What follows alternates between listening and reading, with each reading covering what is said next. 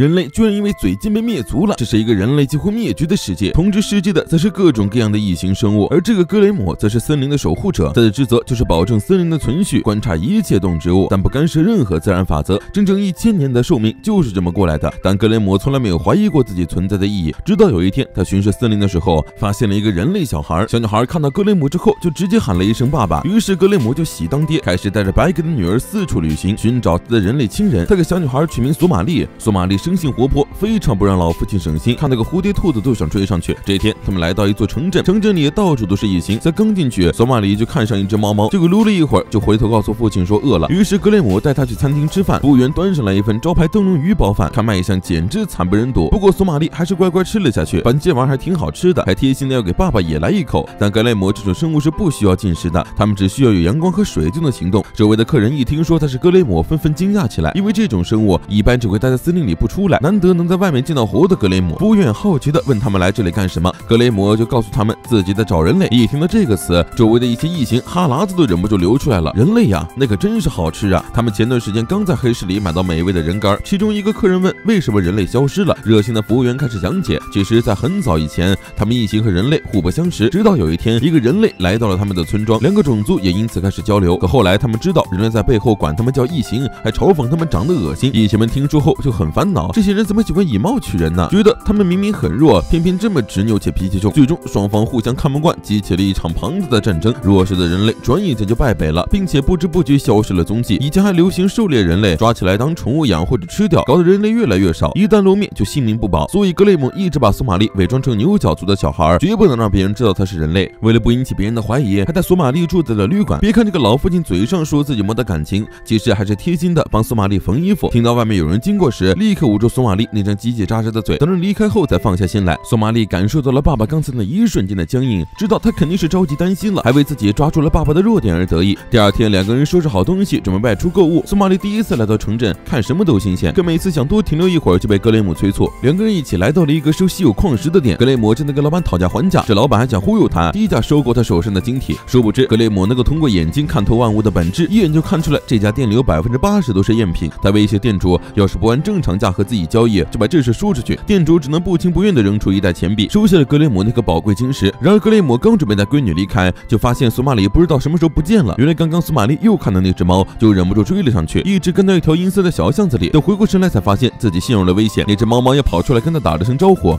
原来并不是真正的猫猫，而是一只异形。猫猫也觉得自己让小女孩迷路了不太好，就跟他聊了起来。索玛丽自来熟的开始撸猫，把小猫咪摸得发出呼噜呼噜的叫声。突然，那只猫像是察觉到了什么，感觉闻到了索玛丽身上一股非常好吃的味道，刚准备仔细辨认一下，格雷姆就现身把闺女抱了起来，吓得猫猫拔腿就跑。为了避免索玛丽的身份暴露，格雷姆也很快的在离开了那座城镇。而那只猫把这件事告诉了餐馆的客人们，大家就不以为意，谁也没把索玛丽往人类身上想。旅行路上，索玛丽好奇的问格雷姆，为什么他可以那么快找到自己？格雷姆就告诉他自己观察了他的行动，他只有在看到感兴趣的东西时才会离开，所以就顺着这个找。格雷姆无法理解索玛丽的感情，只能通过观察和分析。不过他不希望以后再发生这样的事，就勒令索玛丽禁止擅自离开自己身边，说着还朝他伸出手，让他牵着自己的手，这样索玛丽什么时候离开他就能及时察觉了。这天，格雷姆和索玛丽露宿在森林里，只能就地取材搞定食物。格雷姆给索玛丽做了一条烤鱼，每每享受烤鱼的索玛丽却忍不住为老父亲遗憾起来，不能体验美食真的是太绝望了。很快，烤鱼的香味吸引过来两只兔子，毛茸茸的小白兔子被索玛丽抱在怀里，另一只小灰兔则和格雷姆交流起来。格雷姆正在向他询问下一座城镇该怎么走，这是作为森林守护者格雷姆的特有能力。突然，小白兔从索玛丽怀里蹦了出去，为了追兔子，索玛丽一不小心摔趴在地，还把腿给伤到了。可他们随身的药已经卖完了。恰在此时，一个小鬼子少年一边喊着有人需要药吗，一边走了过来。其实他刚刚就已经在注意到这对奇怪的妇女了，上前帮索玛丽查看了伤口，然后掏出一瓶外伤药涂在伤口上。但这只是应急处理，既然好得快，还需要再仔细处理一下比较好。药剂师静野就邀请他们来自己家，其实就是想趁机研究一下格雷姆的身体。他们家就住在森林的树屋，没想到两人才刚进去就遭到了番茄的攻击。这是和静野一起住的八柱，番茄也是用来招呼静野的。躲过了八柱的追杀，静野又仔细帮玛丽处理了伤口，很快他就能跑能跳了。看到静野，忍不住感慨：小孩子还真有活力。玛丽疑惑地问：难道你不是小孩子吗？一旁的格雷姆解释：小鬼族成年后体型也很小，不过相对的更善于运用智慧，毕竟浓缩的都是精华嘛。而八柱为了表示歉意，也帮他们准备了丰盛的餐点。吃饭时，格雷姆请求静野教他制药，静爷很轻易的同意了。但作为交换，他想要格雷姆身体的一部分，这自然是为了制药的研究。于是格雷姆毫不犹豫从手臂上取下一块递给他，知道父亲是为了自自己才想学制药的。索玛丽心里有些过意不去，便在格雷姆和静野学习制药的时候，也努力帮巴柱做一些家务。经过这一几天的相处，静野也发现了一些端倪。格雷姆全身都裹得严严实实，想必是为了防止表皮继续脱落。想到这里，他有些自责当初对格雷姆提的要求。格雷姆却并不在意，又回头说他的表情和索玛丽在森林里摔伤时一样，都是脸上肌肉痉挛，眼眶逐渐湿润。一看到这副表情，他就感觉自己无法思考，胸口处也平静不下来。格雷姆不希望索玛丽再流露出那样的表情，所以无论如何都想学会制药。一块表皮而已，作为学会是很划算的。静野听到这番话，却意识到格雷姆所说的是心痛的感觉。众所周知，格雷姆是没有感情的。现在他为了不让索玛丽哭泣而如此努力，真是一位温柔的父亲啊！不知不觉，快要到了离开的日子，格雷姆将索玛丽哄睡下去，和静野八柱唠嗑。他们很好奇格雷姆为什么会带着索玛丽四处旅行。于是格雷姆脱下了外套，露出了那副遍布伤痕的身体。原来格雷姆的寿命有一千年，而他现在已经活了九百九十八年零二百五十三天，只剩下一年多的生命了。他想在自己的生命结束之前，帮索玛丽找到真正的父母。这场旅行其实是一场离别之旅。索玛丽对此却一无所知，连静野都感觉这太残忍了。毕竟他们两个外人都能察觉到，索玛丽在格雷姆身边的时候看起来真的非常幸福。第二天，双方告别，格雷姆拉着索玛丽的手，再一次踏上了旅途。经过了长途跋涉，两个人终于又来到了城镇。这里名叫蚁穴镇，是在沙漠里繁华的城镇。它的街道就像蚁穴一样交错纵横，据说一旦迷路就再也出不来了。索玛丽吓得赶紧拉住爸爸的手，保证自己再也不乱跑了。结果趁着格雷姆换气又跑了出来，还遇到一只独眼狼，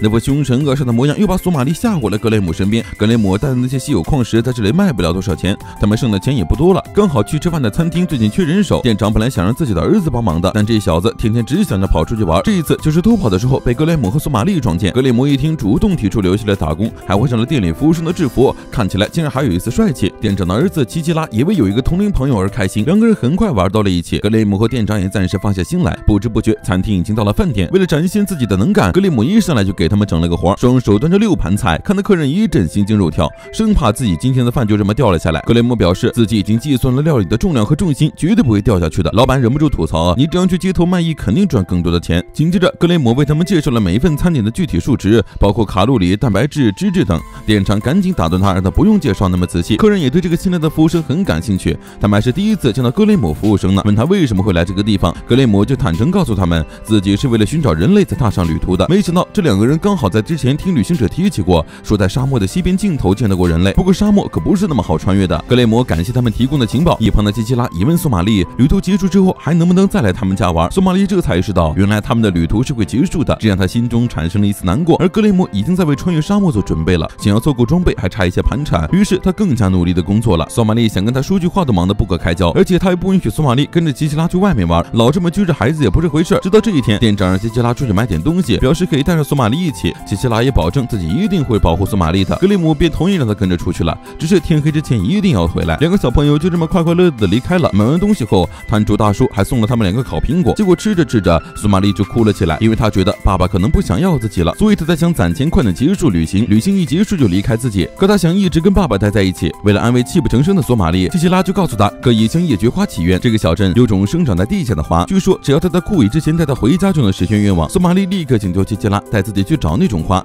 殊不知两人的对话全都被头独眼狼给听到了。没想到在这个沙漠小镇，居然也有如此美丽的景象。两个人来到地下后，看到的就是各种发光植物，在这个黑暗的世界里熠熠生辉。这时，基西拉好奇地问索玛丽和格雷姆是什么关系。据他观察，这两个人完全不像父女。索玛丽却表示，爸爸就是爸爸，危险的时候会保护自己，怕走散的时候会牵着自己，睡不着的时候还会给自己数星星。所以格雷姆就是他的爸爸。话音刚落，上空就落下了一群星空蝴蝶。这些蝴蝶以夜菊花花粉为食，只要跟着它们就能找到夜菊花了。索玛丽一听，立刻飞奔而去，果然看到了大片大片发光的夜菊花。为了实现自己的心愿，他要找一只最大的。总算找到了，就想赶紧把它挖出来。然而下一秒，面前的大蘑菇突然睁开了无数眼睛，想要对索玛丽发动攻击。关键时刻，一只飞刀射了出去，蘑菇立刻逃窜离开。而救了索玛丽一命的，居然是一头独眼狼。奇奇拉一看到独眼狼，都激动的喊了声师傅。别看这头狼这么凶神恶煞，其实是个好人，而且还管理着蚁穴镇地下世界，负责帮忙想要进入地下世界的人带路，以及防止奇奇拉这样的熊孩子闯进来。在几个人说话的时候，索玛丽好不容易才得来那朵夜菊花，居然已经开始枯萎了。原来这句话都是靠土阿迷树的树根供给养分的，小树所能提供的养分十分有限，所以这位夜菊花的生命力也会很弱。想要找到生命力强的夜菊花，必须前往中心区域找到最大的土阿迷树。不过前往中心区域的路又复杂又危险，独眼狼说什么也不肯带他们去。可索玛丽还想实现自己的心愿，想要采到一只最大的花。独眼狼就问他，即便无法保证你们的安全，也想去吗？索玛丽坚定地给出了肯定的答案。这份坚持也终于打动了独眼狼，终于愿意给他们带路了。独眼狼之前给一位学者带路的时候，曾发现过一棵很大的图案迷树，如果是那附近的话，应该有足够的生命力在枯萎之前带回去。经历了重重艰险，新人终于来到了那棵树前，果然这里的野菊花开得更大更美。索玛丽赶紧挖了一株准备带回去。就在这时，一头巨大的土蜥蜴突然袭来，索玛丽和吉吉拉都被困在了那附近。这样的生物，即便是独眼狼的连弩也派不上用场。为了保护玛丽，此时的吉吉拉已经炸起毛发，发出了嘶吼声。索玛丽开始对土蜥蜴展开化疗，表示自己真的想要这朵夜菊花，他想实现和爸爸永远在一起的愿望。听到这句话后，两只小蜥蜴从土蜥蜴头上爬了出来，他们似乎在交流着什么。最终，土蜥似乎被这对父女之情打动，带着自己的孩子缓缓离开了。独眼狼连忙走过来，先是称赞了吉吉拉的勇敢，然后告诉他们，土蜥是图案迷书的主人，也是花的守护者。既然他们愿意放过索玛丽，也说明他接受了索玛丽的愿望。就这样，几个人来到这好不容易来到了夜菊花，回到了餐厅。索玛丽开开心心的向格雷姆展示那朵花，还没有来得及说出自己的经历，格雷姆就开始责怪他为什么擅自绕远路，为什么没有在天黑之前回来。那严厉的语气让苏玛丽的心情瞬间跌到谷底。紧接着就听格雷姆说，以后要是再擅自行动，旅途就到此为止。听到这句话，苏玛丽再也绷不住了，扔下花就跑上了楼。琪琪拉上来敲门都敲不开，楼下独眼龙将来龙去脉告诉了格雷姆，将一朵花捡起来放在了他的身边，提醒他，身为父母还是不要太让孩子伤心比较好。格雷姆看着花儿沉思良久，这时琪琪拉急急忙忙跑下来，告诉他们苏玛丽发烧了，可店里只有琪琪拉他们这个种族能吃的感冒药。店长旁边煮了一份粥，格雷姆端着粥上去，想让索玛丽吃下。索玛丽都说了自己不想吃，他还非得喂，结果喝了一口直接吐了出来，随之流出来的还有索玛丽的眼泪。看到这一幕，格雷姆再也无法冷静了，连忙跑出去帮索玛丽买药。他这才意识到远距离的步行，再加上精神上的打击，索玛丽幼小的身体居然承受了这么大的负担。可他却一直没有发现。为了不暴露索玛丽人类的身份，格雷姆告诉店长自己要买所有种族的通用药，但那种药非常贵。他毫不犹豫掏出了自己为穿越沙漠攒的旅行费。喝了药之后，索玛丽的身体终于有所好好转，并且沉沉的睡了过去。格雷姆却依旧自责，店长在安慰他，这世上没有完美的父母，就连他有时候都会犯错。不过如果他犯错了，会好好的对琪琪拉道歉，让琪琪拉知道父亲是爱着他的，这样父母和孩子都会成长。格雷姆这才真切的感受到自己跟索玛丽的关系就是父母和孩子。于是等索玛丽醒来之后，他就告诉了他接下来的行程，还要继续在这里工作一段时间。索玛丽得知为了给自己买药，格雷姆把旅行费全部花光了，非常的内疚。格雷姆却表示路费可以打工挣，但索玛丽是无可代替的。这句话彻底解开了索玛丽的心结，扑进怀里对格雷姆道歉。格雷姆也说出了自己的不对，父女俩的关系终于重归于好。索玛丽就问老父亲，就算旅行结束了，是不是也会一直跟他在一起？而格雷姆明知道不可能，可还是给了他一个肯定的答案。终于到了分别的日子，吉吉拉哭着和索玛丽告别。索玛丽已经从格雷姆那里得知，就算旅行结束，他们也不会分开，所以放心的对吉吉拉承诺，到时候肯定会回来看他的。没走多久，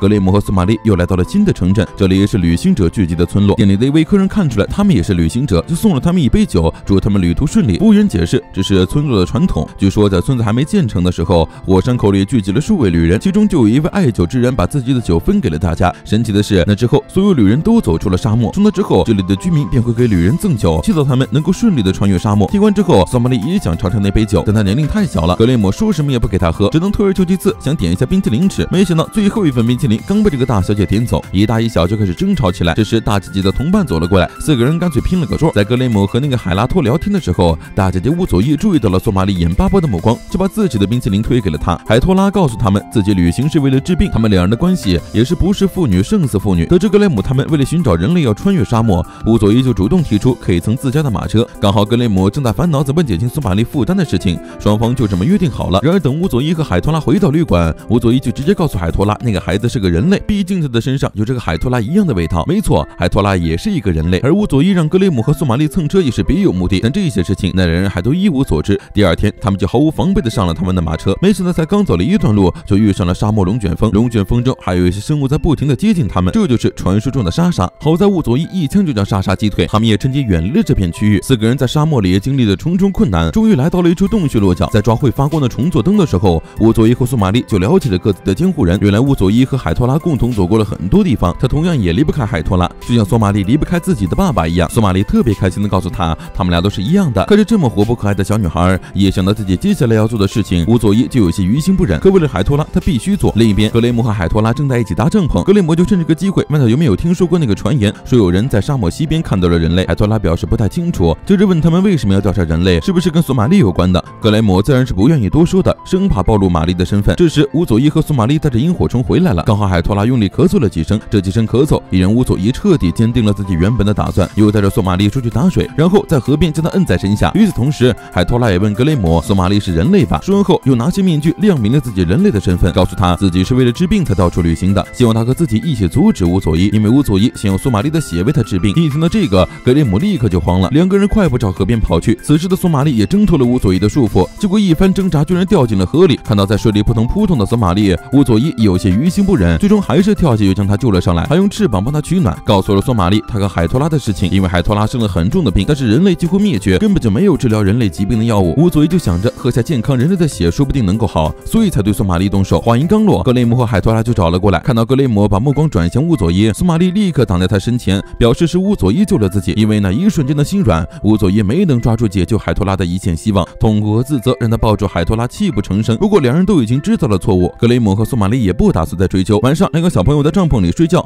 格雷姆和海托拉就坐在外面唠嗑。海托拉还说出了连乌佐伊都没告诉的秘密：为什么身为人类的他脸上会长出羽毛？那是因为在很早之前，他吃了乌佐伊的母亲。当时他和妻子、女儿一起居住在人类的村落里，结果有一天，他的村子被异人族袭击，很多村民都遇难了。海托拉一家则躲在了洞穴里逃过一劫，可洞穴里没有水，也没有吃的。没过几天，他们就快撑不下去了。海托拉只能一个人出去觅食，发现了落单的异人族，也就是乌佐伊的母亲。他只是出来帮女儿采摘一些果子的，可心怀仇恨的海托拉却直从的背后偷袭了他，并把尸体带回了洞穴。在这样的世道中，想要生存下去，就只能泯灭人性。于是三个人喝他的血，吃他的肉。然而刚咽下去，海托拉的妻子跟女儿就浑身长出羽毛，痛苦而死。他自己却只是右眼变异，最后奇迹般的活了下来，还遇到了来洞穴找妈妈的乌索伊。所以海托拉一直觉得自己没有资格做乌索伊的家人。殊不知这一切都被帐篷里的乌索伊听见了，他这才知道原来自己一直都被骗了。但他没有去质问海托拉，第二天也是沉默的坐在马车里。没想到他们又遇见了沙漠龙卷风，乌索伊和索马利二人双双被卷走。不过格雷姆能够辨别风的方向，等龙卷风一结束，他们就循着那个方向去找人了。才刚注意到索马利和乌佐佐伊的身影，就看到一只巨大的迅足鸟正在追着他们跑。这种鸟生性凶猛，绝不能贸然进入他的领地。格雷姆就掏出猎枪，准备先引诱他离开，让海托拉去抓住空隙救人。结果刚准备开枪，就看到海托拉直接冲了出去，用他自己作为诱饵将迅足鸟引开。格雷姆也安全来到两个孩子旁边，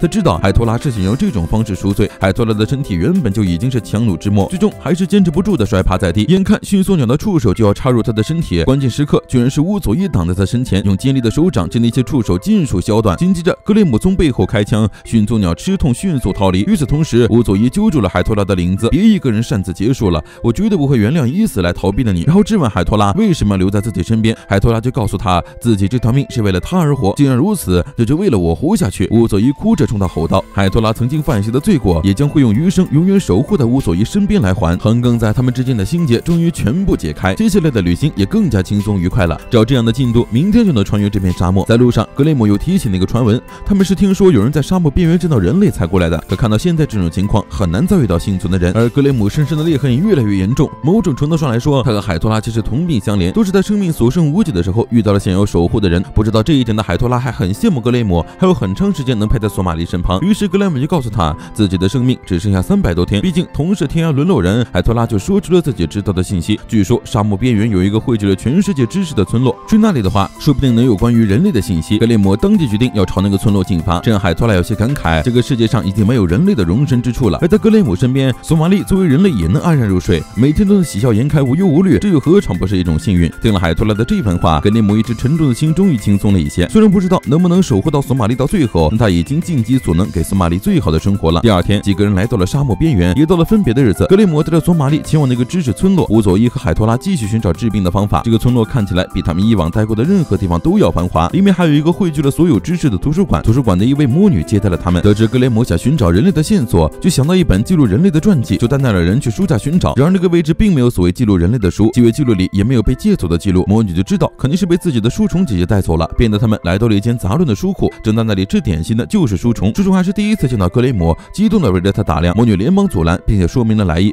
但这里的书太乱太杂了。格雷姆和索马利也帮着寻找。就在这时，索马利看到了那本符合特征的书，一边招呼一边伸手拿了下来。没想到书上附着的液体居然在空中幻化出了几条古鱼，以凝聚形态就想攻击索马利。幸好书虫姐姐及时出手，这种鱼是专门吃书的，也是他们魔女的天敌。说着，两个魔女施法将房间里的吃书鱼尽数消灭。结果下一秒，又不知道从哪钻出来一群，在空中汇聚成一只巨大的吃书鱼。那条鱼死死盯着索马利怀里的人类传记。格雷姆就让他先把书放下，可索马利说什么也不愿意，想带书逃出这间书库，结果跑得太快，一不小心跌倒，书也摔了出去。吃书鱼立刻流着哈喇子追上去，口水流到书上，上面的文字瞬间消失。就在吃书鱼还想继续攻击索马利的时候，格雷姆冲上前挡在他面前，本就脆弱不堪的身体又碎了一些，一击就将吃树鱼消灭。可那本书也被毁得没法阅读了。不过格雷姆还是那句话，只要苏玛丽没事就好。这时书虫灵机一动，只要找到曾经借阅这本书的人，说不定对方还能记得一些什么。魔女立刻翻找借阅记录，发现最近一次借阅的居然是图书馆的馆长格雷姆和苏玛丽，就根据书虫给的地图来到了图书馆的禁地。负责守护禁地的魔女立刻发现了他们的踪迹，刚想阻拦，就听见里面传来馆长的声音，说要放他们进来。格雷姆就问馆长还记不记得赫莱索的传记，万万没想到写下这本传记的就是馆长本人。馆长还告诉他们，是他将人类逼入了死地。很久很久以前，馆长的祖先朵拉也是一个小魔女。有一次，她被一阵狂风卷到了人类的村落，并在那里度过了一段很快乐的日子。村子里还留有一只名叫赫莱索的格雷姆。格雷姆提醒朵拉，千万不能暴露自己魔女的身份，因为人类是非常弱小而胆怯的种族，接受她的存在只是因为她是森林之神。幸好魔女长得跟人类比较像，朵拉就伪装成人类在村子里生活了下来。在此期间，赫莱索一直在帮她研究风向，只等有一天能送她回家。朵拉还在这里交到了一个名叫米娅的朋友。作为人类小女孩的她，也受到了村民的优待。很快，她脚伤也养好了，就等着明天早上乘风回到故乡。可朵拉好不容易跟大家关系变好，临走的时候居然有些依依不舍。米娅也过来问她是不是明天就要走了，或者请求她一直留在这里。就在这时，村里也传来了铃铛声，原来是一群村民抓住了一头双头一族。那条双头龙口吐人言，表示自己并没有恶意，希望村民能够放过他。可无知带来的畏惧心理，还是让村民对那头龙下了杀手。看到这一幕的朵拉忍不住心生恐惧，担心自己也会遭受同样的遭遇。又一个人跑到了悬崖边，村里的人担心他，就派人出来寻找。很快，米娅就找到了他的朵拉姐姐。朵拉却问：“如果我是异族，你会怎么做呢？”听到米娅回答，他是不会跟怪物做朋友的。就在这时，一阵旋风吹过，居然把米娅吹落了悬崖。周围的村民听到声音也赶紧跑了过来，可他们也无计可施。眼看拖着米娅那根树枝就快要断了，无奈朵拉还是在众人面前暴露了自己的身份，骑着扫帚飞下去把米娅救了上来。而他的救命之恩并没有让村民就此打消对于人族的厌恶和畏惧，纷纷叫嚷着杀了他，杀了他。连赫莱索都没办法再帮他说话了，只能看在他救了米娅一命的份上饶过他一命，让他立即离开这里。这原本也是他们的计划。朵拉就骑着扫帚随风而去，但昨晚说过不和怪物做朋友的米娅，此时却大喊着追了上去，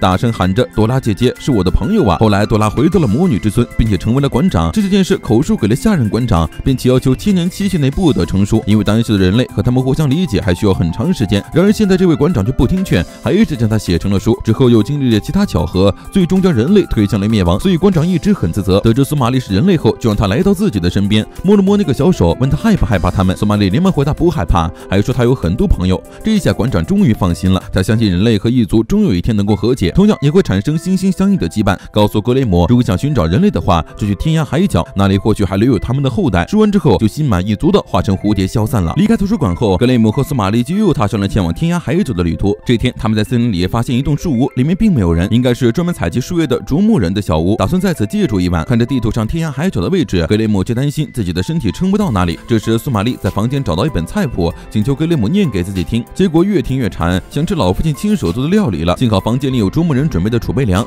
格雷姆就留下些钱作为食材费和住宿费，然后开始按照食谱为索玛丽亲手制作蛋糕，成品非常完美，简直好吃到索玛丽喜洋落泪。而且这也是他第一次吃到格雷姆亲手制作的料理。结果吃着吃着，发现牙齿有些松动，刚想跟格雷姆说，格雷姆就听到外面传来一些动静，立刻让索玛丽安静。万万没想到，来的人居然是静野和八柱，他俩也是过来避雨的。看到是老熟人，索玛丽也就把蛋糕端出来，热情的招待他们。第二天，几个人还结伴同行，但索玛丽却感觉有点怪怪的，他不知道牙齿松动是怎么回事，也不敢告诉格雷姆他们，只能在静野递过来零食时忍痛拒绝。而他们接下来到的城镇是一个充满杀气的村落，这里是灰色地带，烧杀抢掠是常事。静野听说这镇上有很多齿牙师，所以想找他们讨教一番犯人。所以齿牙师就是专门医治牙痛的专业牙科医生，刚好跟索玛丽的毛病对上了。下一秒，他就听到八柱说被虫蛀的牙齿只能拔掉。索玛丽忍不住心生恐惧，可惜还是得跟着静野他们来到那家牙科诊所。大名鼎鼎的齿牙师居然是一只小老鼠，他很热情的为静野讲着治疗牙齿的各种方法。索玛丽虽然还没亲身经历，就已经感觉到自己的牙齿隐隐作痛了，坚决不能让别人知道自己的牙齿出了问题。但格雷姆还是敏锐的察觉到他有点怪怪的，于是为了躲避格雷姆的检查，索玛丽慌不择路的开始逃跑，一头撞到了别人身上。这几个恶霸就开始讹人，把他们身上所有的钱都掏出来作为医药费。殊不知在场的几位除了索玛丽都是练家子，三两下就被他们撂倒了。而在索玛丽跑的时候，一不小心摔趴在地上，居然把那颗晃晃悠悠的牙齿给摔下来了，只好拿着牙齿哭着问格雷姆怎么办。刚刚那个齿牙师说牙齿掉了就再也长不出来了，只有静也是个明白人，他知道这只是小孩子的普通换牙而已。说着又带他们回到诊所，让齿牙师检查了一番。齿牙师让索玛丽不用担心，他的牙齿非常健康。说着还把索玛丽得的第一颗乳牙给了格雷姆当纪念品。他们正在旅行，心里自然是越来越好。所以格雷姆一开始是不打算要的，可在递给齿牙师的时候，又忍不住改变了主意，还是把那颗牙收了起来。不知不觉到了晚上，格雷姆他们走在街上的时候，又遇到了白天的恶霸之一。但这一次恶霸是想请他们帮忙的，说想请他们给自己的旅馆当保镖，作为报酬就让他们免费住自己在郊外的小房子。就这样，格雷姆他们有了落脚的地方。晚上，静也纠结了一会儿，还是问出了自己的疑惑。其实，索玛丽是人类吧？听上去并没有什么恶意。格雷姆也放心的把他们的事情告诉了静野。他作为森林守护者，发现了独自一人的索玛丽，原本是打算将他作为异物排除掉的。可索玛丽开口就喊了他一句“爸爸”，之后不管走到哪儿都跟在他屁股后面。不知不觉，格雷姆也接受了索玛丽的存在，并决定将他还给人类。所剩无几的时间里，踏上了旅途。静野听到之后，就要去检查一下他的身体，发现表皮比上次看到的更少了，而且内部肌肉也开始断裂，也在不断的流失。在一个月之前，关节也变得嘎吱作响。格雷姆知道自己很有可能撑不到帮索玛丽找到人类父母，就希望在自己死后能把他托付给静野。静野毫不犹豫地答应下来，但他知道格雷姆肯定希望亲自守护在索玛丽身边。第二天一大早，格雷姆和巴柱出去当保镖，静野就带着索玛丽留下来看家。外面已经飘起了鹅毛大雪。吃饭的时候，静野问索玛丽等会儿打算干什么？以前他都是跟爸爸一起玩的，现在爸爸不在，他想趁这个机会帮爸爸做个小礼物，感谢他一直以来的照顾。但是画了一天也没画出个像样的肖像画，只能第二天继续了。第二天，店长的妻子还帮他们送来了一些物资。看到索马里好像在织什么东西，得知他要给爸爸送礼物，就提议可以织希特的线绳。这种线绳是市面上售卖的常见礼物，也被称作幸福手环。在制作的过程中要祈祷对方的幸福。说着，店长的妻子还亲自教索马里如何制作。看他这么乖巧，就忍不住抱了一下。不过这种线绳一天织不完，所以明天太太还要过来。索马里和静野为了给格雷姆惊喜，并没有把这件事告诉他们。殊不知，这个店长妻子并不是什么好人。他通过白天的接触就已经确认索玛丽就是人类，并把这个情报带给了其他的恶霸。到了第二天，店长妻子得知格雷姆他们明天就要离开了，就摆出一副关心的姿态，告诉他们自己知道一条安全的路，也方便他们带着索玛丽离开。而今天的工作结束后，格雷姆和巴柱又在镇子上采购了一些必需品，路上还看到了一件可爱的衣服。不过，其实格雷姆盯上的是旁边那件丑丑的防寒服。两个人一回家，索玛丽就把这天好不容易编出的线绳递给了格雷姆。没想到格雷姆也掏出一根线绳，这是他在镇子上买的。这两人真不不愧是妇女，连送礼物都能送到一块去。两个人互相帮对方带上线绳，趁着在这里的最后一天，一起出去打了个雪仗。当然，主要是静野和苏玛丽两个人在玩。最后，他们又一起堆了一大一小两个雪人才回屋。然而，就在众人入睡的时候，格雷姆突然发现了前来猎杀苏玛丽的那群恶霸，立刻回屋把静野他们叫醒，说猎杀人类的异族过来了。巴柱还在那儿一脸懵逼，猎杀人类关我们什么事儿？说完后才反应过来，意识到苏玛丽一直隐藏了自己的身份，就去问他自己做的点心好不好吃。苏玛丽赶紧诚实表态，好吃，以后也想吃。光是这句话对巴柱来说就已经足够让他保护索玛丽了。于是他一个人出去引诱恶霸，其他人则趁机逃跑。逃跑路线正是店长太太给他们那条，所以几人又在洞穴里遇到了猎人。格雷魔只好抱着静野和索玛丽跳下悬崖，这让他原本是强弩之末的身体坏得更厉害了。好在很快躲开了追兵。几个人刚走了几步，就遇到了店长太太。店长太太解释，他们的桥已经断了，所以特地送来一张新的地图。等走到一条岔路口后，给他们指路，前方就是出口了。等三个人走进去，就立刻摁下机关，一道铁门将他们关了起来。格雷魔这才意识到，原来这些人是一伙的。格雷姆要是能破坏牢笼，可他的身体也会再一次被破坏。为了留出更多的时间陪在索玛丽身边，他还是决定暂时按兵不动。店长太太让其他猎人前去准备，自己则趁这个时间给他们讲起了故事，说是一两百年前，他还是个孩子的时候，一群人类悄悄住在他们附近。不过双方互不干涉，在各自的村庄平静的生活着。直到有一天，一个人类小孩被野狼袭击，他的一名村民就拼上性命救了那个孩子，还亲自把他送回家。结果对方一看到是个异族，立刻掏枪射杀了那个人。类似的事情发生了不止一次，仅仅是因为种族不同，人类就能做做出这样残忍的事情。再后来，战争爆发了，店长太太这些人也明白过来，并非所有种族都能和平共存，只有一直欺压人类，他们才能安全的生活。所以人类被贩卖、被杀害、被吃掉，都是咎由自取的自作自受。说着，店长太太哼唱起了一首歌谣，唱的就是人类如何残害异族的事情。而这位歌谣，索马里也曾在奇奇拉那里听说过。听完故事后，其他的人也做好了准备，要开始分发战利品了。他们每个人都擅自定下了索马里身体的一个部位。很快，牢笼被打开，静野躺在索马里生前，想要告诉那些人，就算人类真的做了很多错事，可索玛丽也是无辜的。结果是被猎人一拳打飞。格雷姆只好准备亲自动手，没想到刚伸出手，那条小臂就直接脱落飞了出去，他的身体也随之倒下。看到他这样，其他人再也不怕了，拎着索玛丽就准备分食。看到这一幕的格雷姆直接用尽全部力量站了起来，还变成了这副恐怖的模样。他的胸前闪烁着红光，那是燃烧生命的象征。他将体内的热能和心经元化为了一枚炮弹，将炮弹射出去之后，格雷姆发出了低沉的嘶吼声。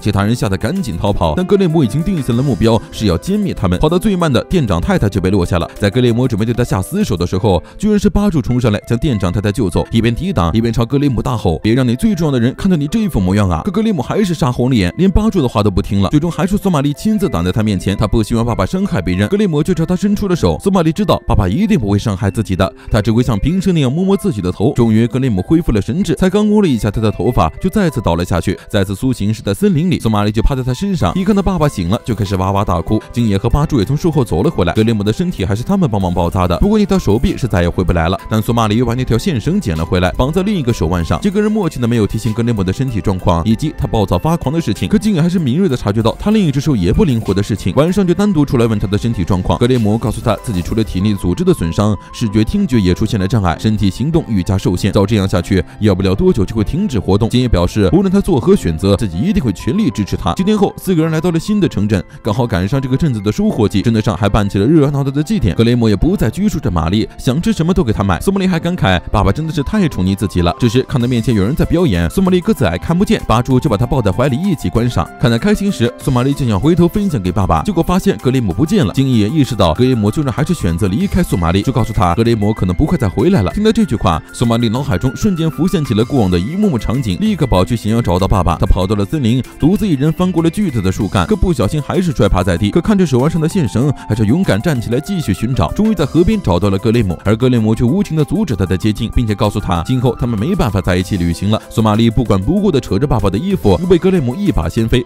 表示自己继续待在他身边的话，很可能会再次失控，让他陷入危险之中。所以就此分别也是为了他着想。索玛丽还是不依，没有爸爸他会是寂寞的，难道爸爸不会寂寞吗？格雷姆还想用格雷姆没有感情搪塞过去，但他过去那些表现可完全不像没有感情的样子。终于，他承认自己有感情和心灵了，同时眼睛的位置只留下了一行黑色的眼泪。在这一刻，他终于看清了自己的内心。他想作为索玛丽的父亲和索玛丽在一起，哪怕要与全世界为敌，这就是他唯一的心愿。最终，父女俩再一次约定，他们今后也要一直在一起，即便化为灵魂，也要永远在一起。而这趟旅行还远远没有结束。